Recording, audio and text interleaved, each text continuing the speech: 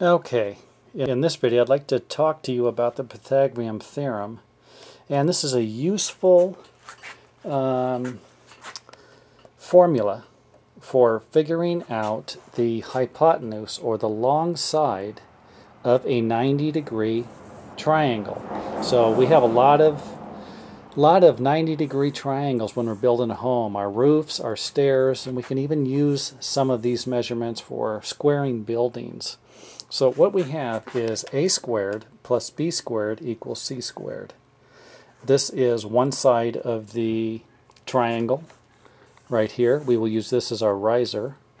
B is going to be the tread, and C is going to be the hypotenuse of the angle.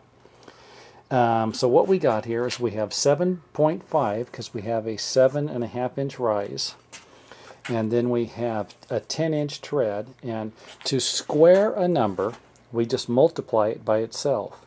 10 times 10 equals 100 7 times 7 equals 49 12 times 12 equals 144 now how are we going to get the 7.5 seven and a half inches which we broke it down to a decimal?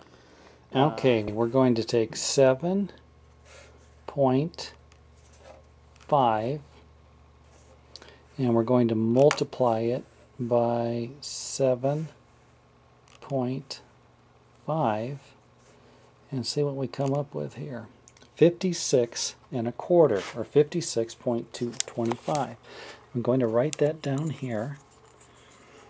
56.25 so now we have the square of the riser and we have the square of the tread. So we're going to multiply, we're going to add um, number A, 56 and a quarter, and 100 is B.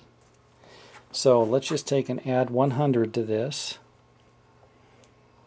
plus 100 equals 156 and a quarter. Now we can write that measure, we can write that number down here. 156.25.